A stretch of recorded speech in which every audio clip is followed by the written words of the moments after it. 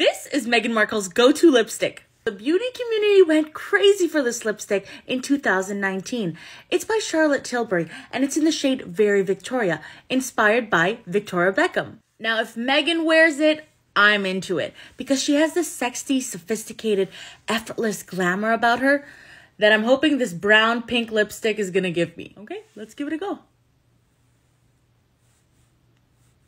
Oh. What do you think? Did it miss the mark or is it remarkable?